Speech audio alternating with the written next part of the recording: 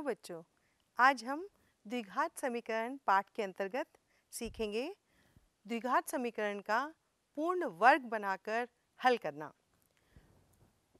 बच्चों, हमने इससे पहले पाठ में एक द्विघात समीकरण के मूल गुणनखंड विधि से ज्ञात करने सीखे थे।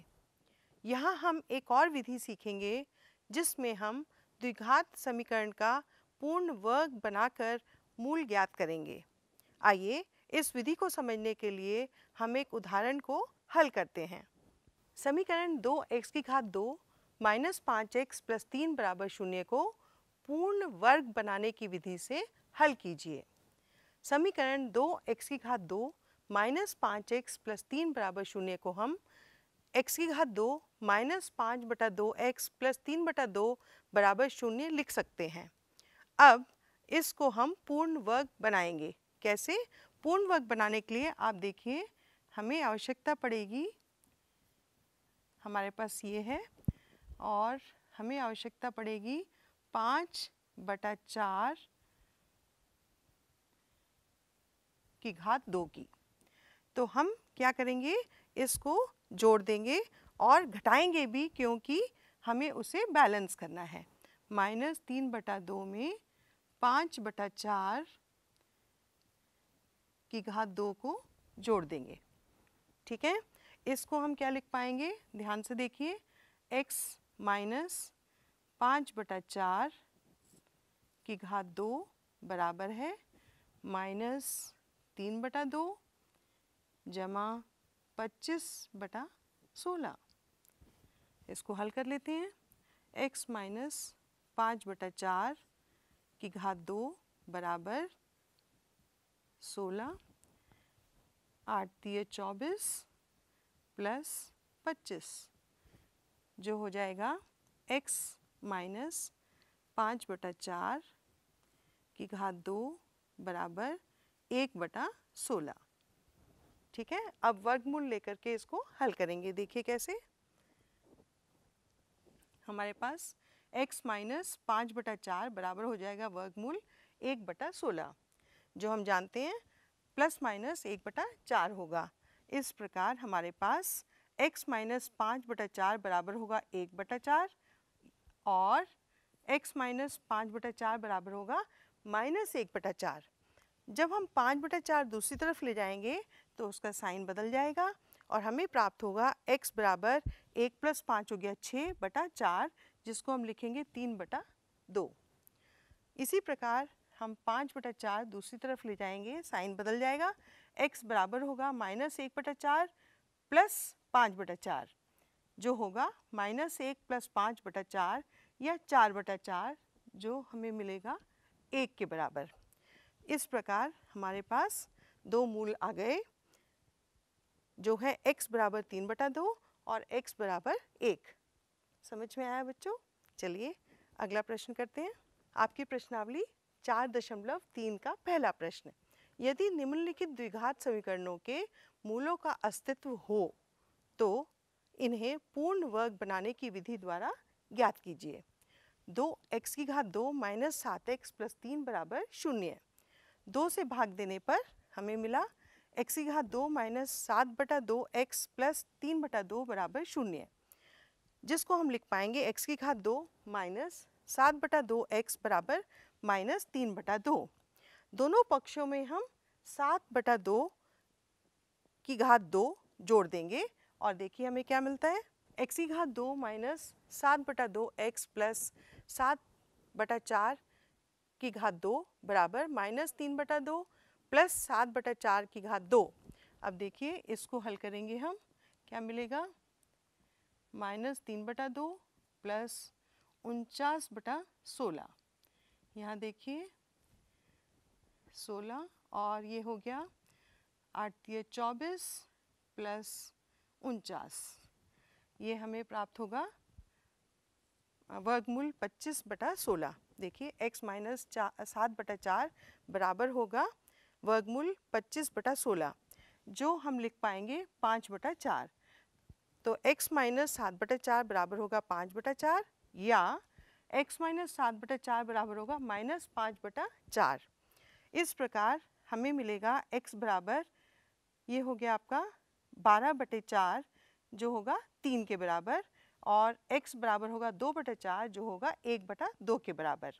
ये देखिए, सात उधर जाएगा तो प्लस हो जाएगा, सात प्लस पाँच हो गया बारह बटे चार, और हमें तीन मिलेगा सरलीकरण करने के बाद, और x बराबर होगा एक बटा दो। अतः दिए गए द्विघात समीकरण के मूल तीन और एक बटा दो हैं। समझ में आया? चलिए आगे चलते हैं। चार एक्स की घात दो प्लस चार गुना वर्गमूल तीन एक्स प्लस तीन बराबर शून्य। चार से भाग देने पर हमें प्राप्त होगा एक्स की घात दो प्लस वर्गमूल तीन एक्स प्लस तीन बटा चार बराबर शून्य। एक्स की घात दो प्लस वर्गमूल तीन एक्स बराबर होगा माइनस तीन बटा चार। इसमें दोनों पक्षों में हमने क्या जोड़ा? एक बटा दो, वर्गमूल तीन का घात दो जोड़ने पर हमें मिलेगा एक्स घात दो प्लस वर्गमूल तीन एक्स प्लस वर्गमूल तीन बटा दो की घात दो। देखिए, और बराबर होगा माइनस तीन बटा चार प्लस वर्गमूल तीन बटा दो का, की घात। इस प्रकार से हमने इसको x प्लस वर्गमूल तीन बटा दो की घात दो बराबर माइनस तीन बटा चार प्लस तीन बटा चार मिलेगा, जो कैंसिल हो जाएगा और हमें शून्य मिलेगा। X प्लस वर्गमूल तीन बटा दो बराबर शून्य अर्थात x बराबर माइनस वर्गमूल तीन बटा दो। अतः दिए गए द्विघात समीकरण के मूल माइनस वर्गमूल तीन बटा दो और माइनस वर्गमूल तीन बटा दो हैं। आइए अगला प्रश्न देखते हैं। अगला प्रश्न करने के लिए हमें एक द्विघाती सूत्र की आवश्यकता पड़ेगी। देखते हैं वो सूत्र क्या है? द्विघाती समीकरण ए एक्स की घात दो plus b x plus c बराबर शून्य के मूल क्या है? माइनस बी प्लस माइनस वर्गमूल बी की घात दो माइनस चार ए सी बटा दो ए द्वारा दे होते हैं। यदि हमारे पास b की घात दो माइनस चार ए सी बड़ा हो या बराबर हो शून्य के। यहाँ पर b की घात दो माइनस चार ए सी को हम विविध कर कहते हैं, जिसको इंग्लिश में डिस्क्रिमिनेंट भी कहते हैं। तो इस प्रकार हमारे पास दो मूल हो गए। एक है माइनस बी प्लस वर्गमूल b square minus four a c बटा दो ए और दूसरा मूल माइनस साइन से मिलेगा। माइनस बी माइनस वर्गमूल बी स्क्वायर माइनस चार ए सी बटा दो ए। इस प्रकार हमारे पास ये सूत्र है। इसकी सहायता से हम प्रश्न को हल करेंगे। आइए बच्चों, अब हम द्विघाती सूत्र की सहायता से प्रश्न को हल करते हैं। निम्नलिखित द्विघाती समीकरणों के मूल द्विघाती सूत्र का उपयोग करके ज्ञात कीजिए। प्रश्न है, दो एक्स की घात दो प्लस एक्स माइनस चार बराबर शून्य। यहाँ ए किसके बराबर है? दो के। और बी बराबर है एक के और सी बराबर है माइनस चार के। हमारे पास सूत्र क्या था? माइनस बी प्लस वर्गमूल बी की घात दो माइनस चार ए सी बटा दो ए और माइनस बी माइनस बी की घात दो, माइनस चार ए सी बटा दो ए। अब देखिए, हमें इसमें मान रखेंगे। b की घात दो, माइनस चार ए सी हो जाएगा। एक की घात दो, माइनस चार गुना दो गुना माइनस चार। माइनस माइनस प्लस हो गया चार चौक सोलह सोलह दुना बत्तीस। तो बत्तीस में एक जोड़ देंगे तैंतीस, जो शून्य से बड़ा है। अतः x बराबर हो जाएगा माइनस एक प्लस माइनस वर्गमूल तैंतीस बटा चार। अर्थात x बराबर वर्गमूल तैंतीस माइनस एक बटा चार या x बराबर माइनस वर्गमूल तैंतीस माइनस एक बटा चार। अतः दिए गए द्विघात समीकरण के मूल वर्गमूल तैंतीस माइनस एक बटा चार और माइनस वर्गमूल तैंतीस माइनस एक बटा चार हैं। समझ में आया बच्चों? चलिए अगला प्रश्न करते हैं। दो एक्स की घात दो प्लस एक्स प्लस चार बराबर शून्य। यहाँ ए का मान है दो, बी का एक और सी का चार। ध्यान से देखिए, बी की घात दो माइनस चार ए सी हो जाएगा। एक की घात दो माइनस चार गुना दो गुना चार, जो हो जाएगा एक माइनस बत्तीस। देखिए यहाँ पे माइनस इकतीस जो शून्य से छोटा है। परंतु क्योंकि किसी वास्तविक संख्या का वर्ग ऋणात्मक नहीं हो सकता, इसलिए वर्गमूल बी स्क्वायर माइनस चार ए सी का मान वास्तविक नहीं होगा। अतः दिए गए समीकरण के कोई वास्तविक मूल नहीं है। ठीक है? आइए अगला प्रश्न देखते हैं। निम्न समीकरण के मूल ज्ञात कीजिए। x माइनस एक बटा एक्स बराबर तीन, जहाँ x शून्य के बराबर नहीं है। यहाँ देखिए, हमारे पास x माइनस एक बटा एक्स बराबर तीन। यहाँ पर x को x से गुणा करेंगे, हमें मिलेगा x की घात दो माइनस एक बराबर तीन।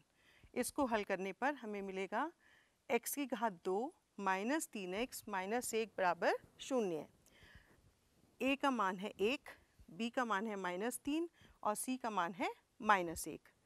इसलिए बी की घात दो माइनस चार ए सी बराबर हुआ, माइनस तीन की घात दो माइनस चार गुना एक गुना माइनस एक। आप देखिए नौ प्लस चार कितना हो जाएगा? तेरह, जो शून्य से बड़ा है। अतः x बराबर होगा तीन प्लस माइनस वर्गमूल तेरह बटे दो। अर्थात x बराबर तीन प्लस वर्गमूल तेरह बटे दो या x बराबर तीन माइनस वर्गमूल तेरह बटे दो। अतः दिए गए द्विघात समीकरण के मूल तीन प्लस वर्गमूल तेरह बटे दो और तीन माइनस वर्गमूल तेरह बटे दो हैं। ठीक है बच्चों, आगे चलते हैं। प्रश्न चार, ये कहता है, तीन वर्ष पूर्व रहमान की आयु वर्षों में का व्युत्क्रम और अब से पाँच वर्ष पश्चात आयु के व्युत्क्रम का योग एक बटा तीन है। उसकी वर्तमान आयु ज्ञात कीजिए। तो मान लेते हैं, रहमान की वर्तमान आयु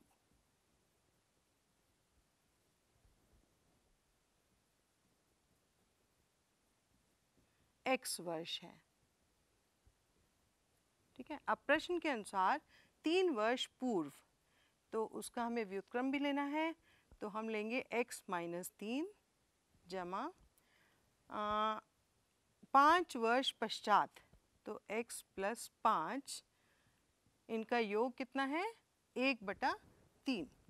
ठीक है? तो इसको हम हल कर लेंगे, x माइनस तीन गुना एक्स प्लस पाँच जो हो जाएगा x प्लस पाँच प्लस एक्स माइनस तीन बराबर है एक बटा तीन। एक्स प्लस एक्स देखिए कितना हो गया? दो एक्स प्लस दो बटा एक्स को एक्स से गुना किया एक्स की घात दो एक्स को पाँच से किया, पाँच एक्स माइनस तीन एक्स माइनस पंद्रह। जो बराबर होगा एक बटा तीन। अब देखिए, इसको हल कर लेते हैं। दो एक्स प्लस दो बटा एक्स की घात दो प्लस दो एक्स माइनस पंद्रह बराबर है एक बटा तीन। अब हम इसकी तिरछी गुना करेंगे तो हमें मिलेगा एक्स की घात दो प्लस दो एक्स माइनस पंद्रह बराबर है तीन गुना दो एक्स प्लस दो।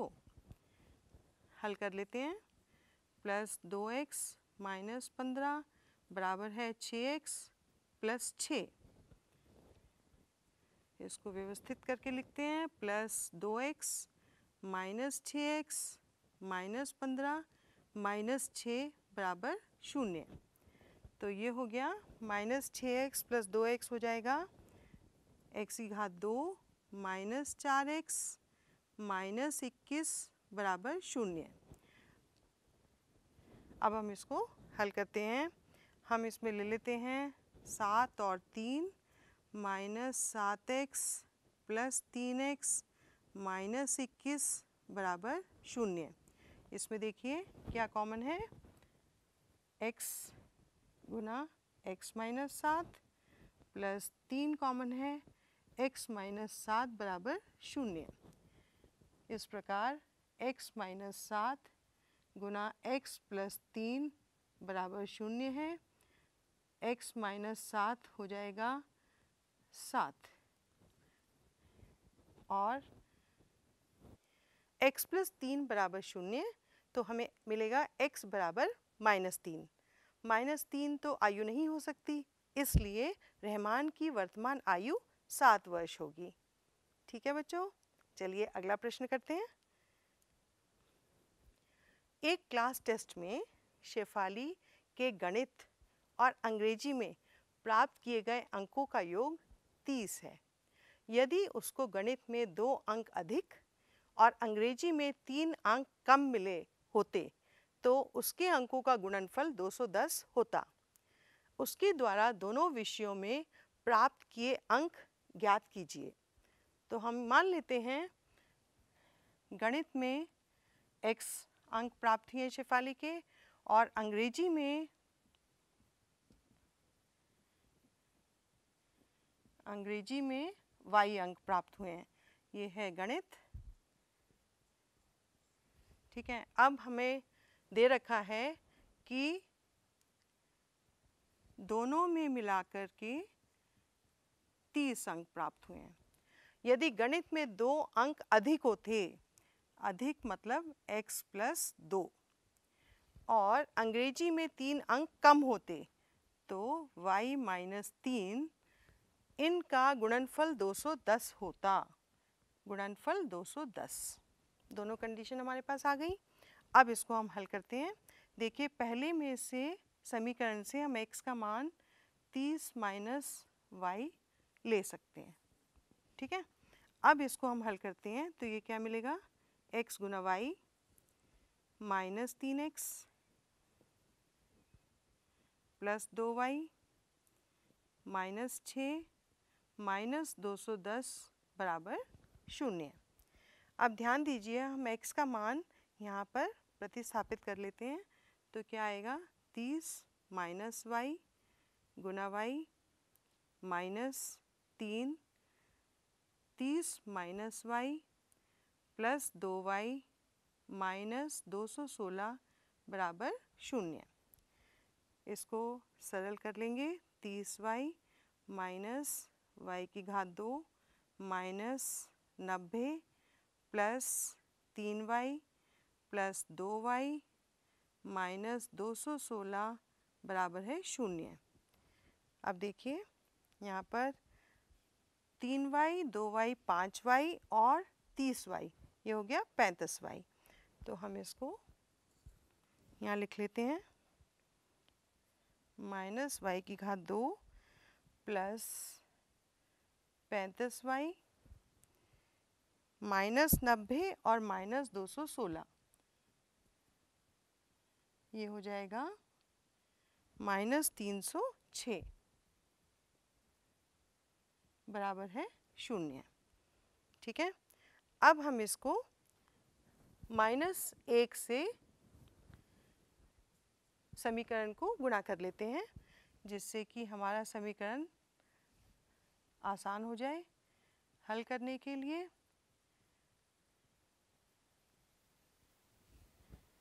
यहाँ पर हम 306 इसको देखते हैं। कितनी बार? तीन, पंच, पंद्रह, एक। और तीन से फिर चला जाएगा। हाँ अठारह और सत्रह से हमें पैंतीस मिलेगा। तो y की घात दो, माइनस अठारह वाई माइनस सत्रह वाई प्लस तीन सौ छः बराबर शून्य। देखिए बच्चों, क्या कॉमन है?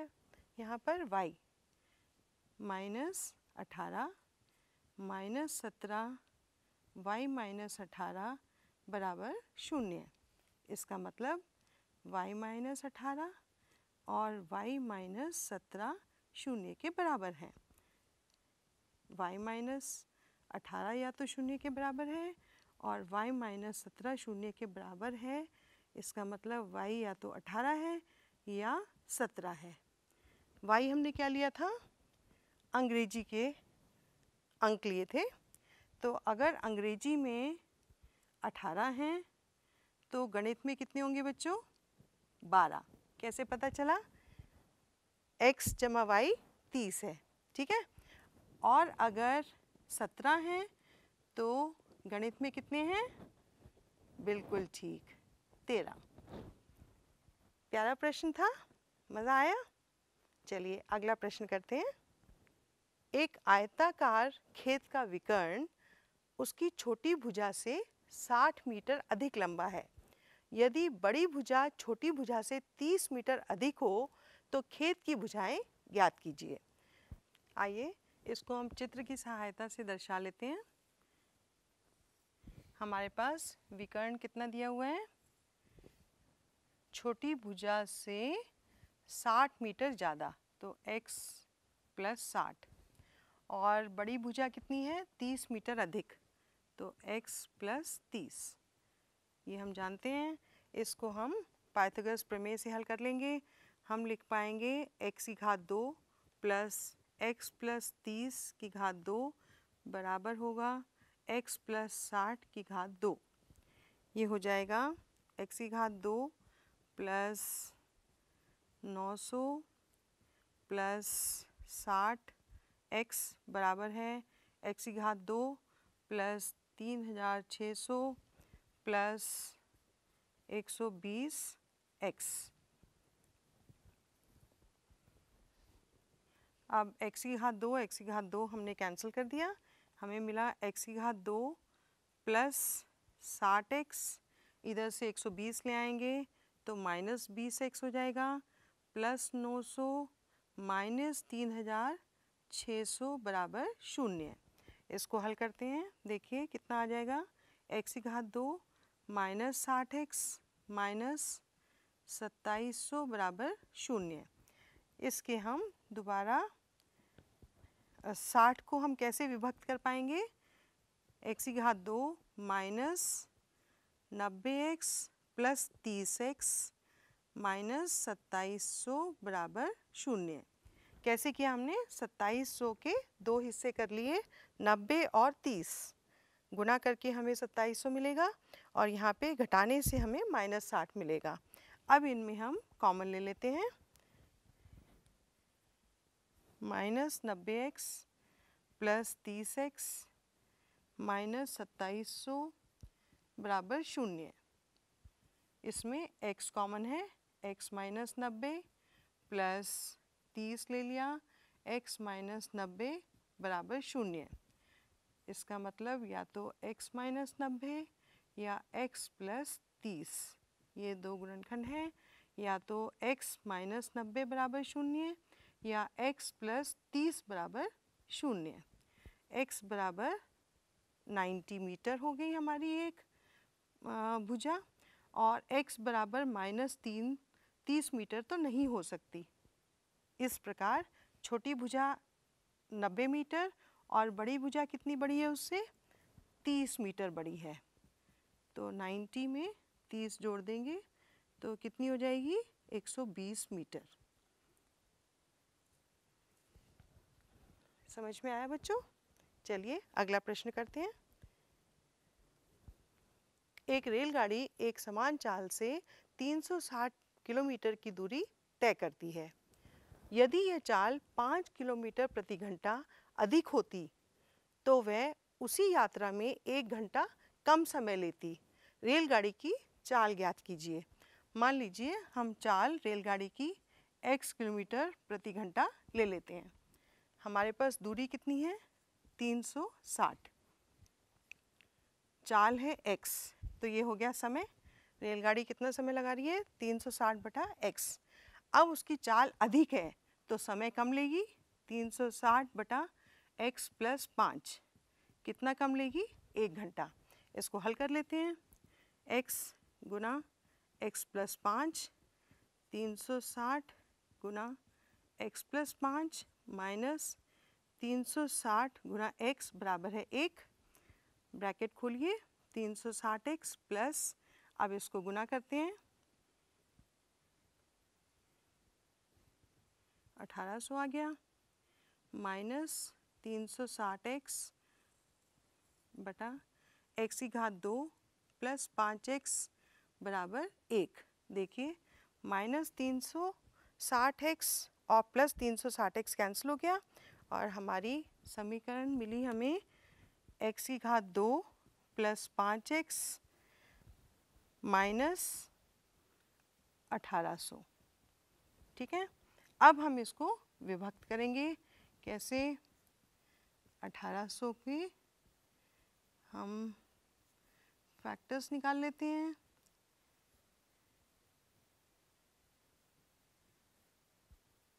सात के इक्कीस और सात पंज तीन पंजे पंद्रह, तीन दूनी छः, तीन पंजे पंद्रह और पाँच इंटू पाँच। इस प्रकार हमें मिलेंगे नौ पंच पैंतालीस और आठ पंज चालीस। गुड तो एक्स घात दो प्लस पैंतालीस एक्स माइनस चालीस एक्स माइनस अठारह सौ बराबर शून्य। अब देखिए, इसमें क्या कॉमन है? एक्स प्लस पैंतालीस, इसमें माइनस चालीस ले लेते हैं तो एक्स प्लस पैंतालीस बराबर शून्य। तो x प्लस पैंतालीस और दूसरा हमारे पास गुणनफल आ गया x माइनस चालीस बराबर है शून्य। तो या तो x होगा माइनस पैंतालीस किलोमीटर प्रति घंटा, जो नहीं हो सकता। और दूसरा है x माइनस चालीस बराबर शून्य। इसका मतलब रेल की चाल 40 किलोमीटर प्रति घंटा है। समझ में आया बच्चों? चलिए, अगला प्रश्न हल करते हैं। दो पानी के नल एक साथ, एक हौज को नौ, तीन बटा आठ घंटों में भर सकते हैं। बड़े व्यास वाला नल हौज को भरने में कम व्यास वाले नल से 10 घंटे कम समय लेता है। प्रत्येक द्वारा अलग से हौज को भरने में समय ज्ञात कीजिए। बहुत ही इंपॉर्टेंट प्रश्न है। ध्यान दीजिए। बोर्ड एग्ज़ाम की दृष्टि से आपको इसकी खूब प्रैक्टिस करनी है। हम मान लेते हैं कि एक हमारे पास नल इस आकार का है और दूसरा नल जिसका व्यास ज़्यादा है, ठीक है? इसमें कम समय लगेगा, इसमें ज़्यादा समय लगेगा पानी भरने में। तो हम दोनों में रेट ले लेते हैं। मान लिया कि पहला नल ले रहा है एक बटा एक्स समय और दूसरा ले रहा है एक्स माइनस कितने? दस घंटे कम। तो दस घंटे हमने घटा दिए। बराबर होगा। दोनों मिलाकर कितना समय ले रहे हैं? नॉट बहत्तर। बहत्तर और तीन हो गया पिचहत्तर बटा आठ। इसको हम ऐसे लिख पाएँगे। x गुना x माइनस दस। एक्स माइनस दस प्लस दस बराबर है। ये हम आठ ऊपर चला गया। पिचहत्तर यहाँ है। अब देखिए, x प्लस एक्स कितना हो गया बच्चों? दो एक्स माइनस दस बटा एक्स की घात दो माइनस दस एक्स बराबर है। इसको हम दो से गुना कर देते हैं चार को और पिचहत्तर। हमने क्यों किया? क्योंकि हम यहाँ पर दो कैंसिल कर देंगे, देखिए। x माइनस पाँच बटा एक्स की घात दो माइनस दस एक्स बराबर है दो की गुना चार से और पिचहत्तर। यहाँ देखिए दो कॉमन है, हम काट सकते हैं। और हमारे पास हमारी समीकरण आ गई चार, एक्स स्क्वायर माइनस चालीस एक्स बराबर है पिचहत्तर एक्स माइनस पाँच को पाँच से गुना पच्चीस तीन सौ पिचहत्तर हो गया, बराबर शून्य। अब देखिए, चार एक्स की घात दो, माइनस चालीस एक्स, माइनस पिचहत्तर एक्स, माइनस तीन सौ पिचहत्तर, बराबर शून्य।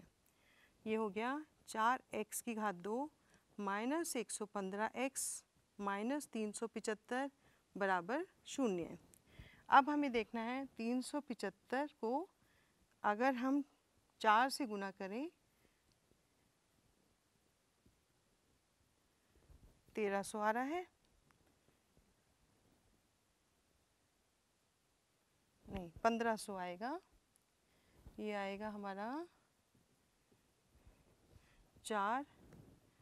एक्स की घात दो, माइनस, हम इसको लिख लेते हैं सौ एक्स माइनस पंद्रह एक्स माइनस तीन सौ पिचहत्तर, बराबर शून्य।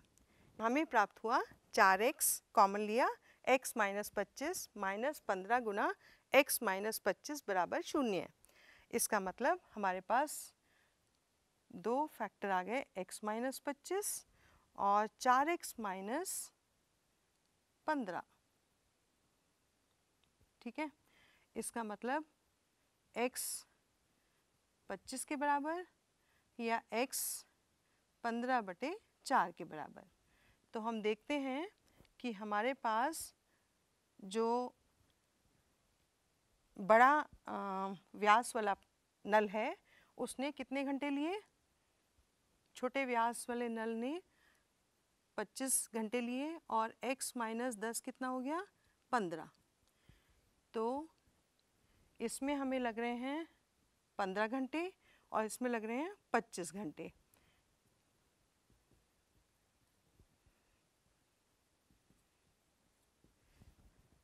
समझ में आया बच्चों?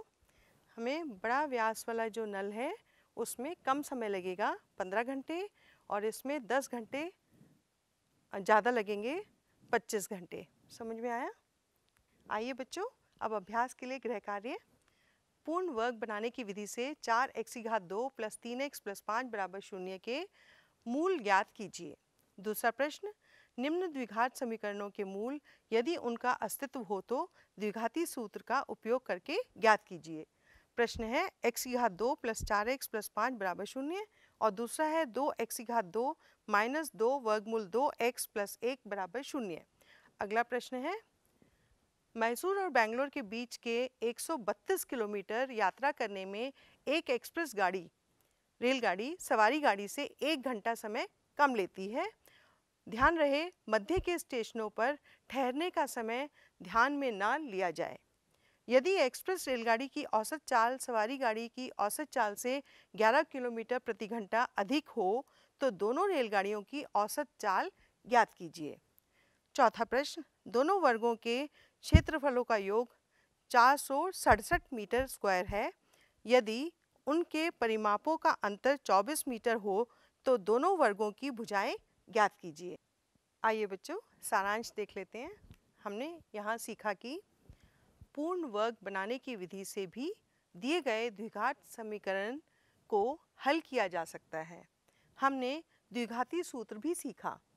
द्विघाती समीकरण ए एक्स की घात दो plus b x plus c बराबर शून्य के मूल माइनस बी प्लस माइनस वर्गमूल बी की घात दो माइनस चार ए सी बटा दो ए द्वारा दे होते हैं यदि बी की घात दो माइनस चार ए सी शून्य के बराबर हो या बड़ा हो। यहाँ b की घात दो माइनस चार ए सी को विविध कर कहते हैं। इंग्लिश में उसे डिस्क्रिमिनेंट भी कहते हैं। तो बच्चों, आशा करती हूँ आपको आज का पाठ समझ में आया होगा। अभ्यास कीजिएगा। धन्यवाद।